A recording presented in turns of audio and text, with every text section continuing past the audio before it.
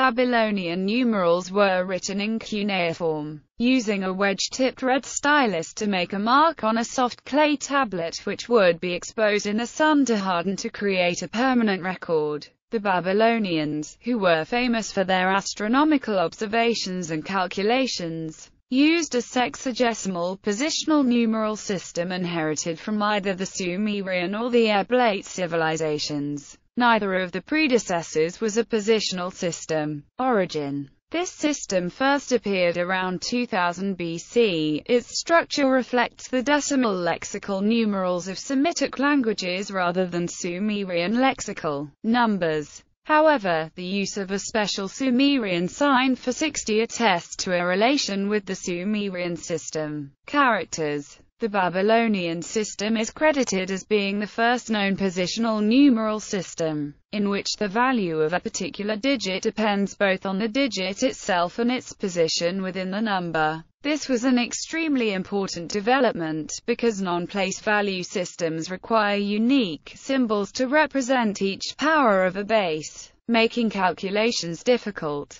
Only two symbols were used to notate the 59 non-zero digits. These symbols and the values were combined to form a digit in a sign value notation quite similar to that of Roman numerals. For example, the combination represented the digit for 23. A space was left to indicate a place without value, similar to the modern-day zero. Babylonians later devised a sign to represent this empty place. They lacked a symbol to serve the function of radix point, so the place of the units had to be inferred from context. Could have represented 23 or 23 times 60 or 23 times 60 times 60 or 23 sixtieths, etc. Their system clearly used internal decimal to represent digits, but it was not really a mixed radix system of bases 10 and 6 since the ten sub-base was used merely to facilitate the representation of the large set of digits needed, while the place values in a digit string were consistently 60 based and the arithmetic needed to work with these digit strings was correspondingly Sexagesimal. The legacy of sexagesimal still survives to this day, in the form of degrees, minutes, and seconds in trigonometry and the measurement of time. Although both of these systems have actually mixed radix,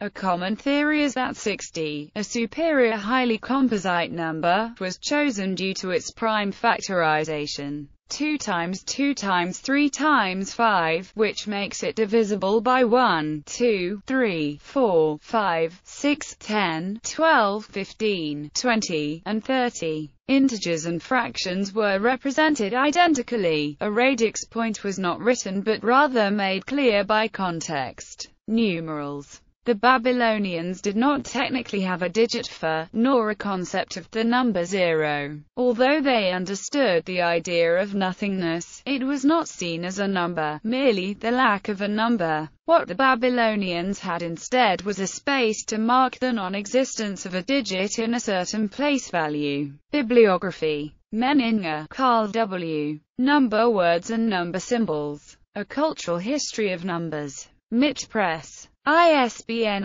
0-262-13040-8. McLeish, John. Number. From Ancient Civilizations to the Computer. HarperCollins. ISBN 0-00-654484-3.